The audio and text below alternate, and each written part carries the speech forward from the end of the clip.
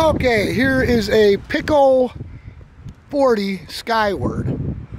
Just got this off eBay. I got a really good deal, 48 bucks. And I'm just gonna, I've already ran it once. so I'm gonna run it again. Um, you can see the S there for Skyward. Um, this does have the in-flight mixture. Now, if you can't find any directions and you have this, what you want to do is close this and lock it with this nut. Just, unless you want to hook a servo up to it and screw around with that, but you know you can tune it with this just fine. If you're some pattern flyer and you think you know 4 RPM more is going to make the difference, then you'd want to use this. Otherwise, it's just a gadget. I mean, it can be used, but I'm just going to start it, let it run, at a, you know, high idle, just because it hadn't been running. It's already smoother than it was when I got it. But I just want to let it run. So after it starts, I'm not going to be able to talk to you because it's, well, it's louder.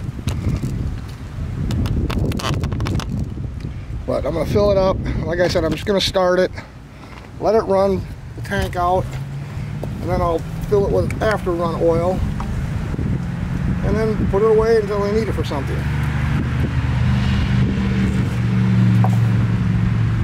This is my little test stand I built.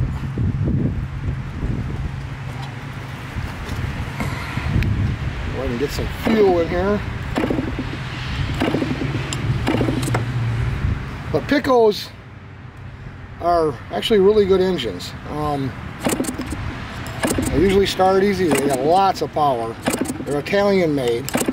Um, I haven't made a video. I did look for a video for a Picco Skyward on YouTube and stuff. The only one I could find was that Mac and Queer, you know, taking apart another brand new engine. Never did run it.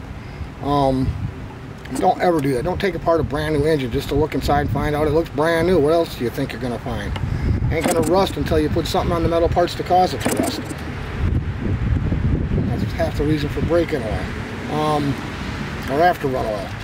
But uh, you get a new engine, just leave it new. Nothing worse than when I buy an engine that's supposed to be brand new and I look at the screws and I can see tool marks. Don't do it.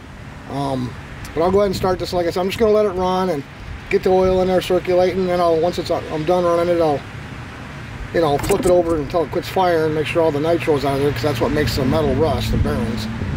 Um, and then I'll fill it with after run oil and put it back in the box and until I have something to put it on. So I'm going to start it, and that'll be about the end of this video because, well, it's just too loud to talk.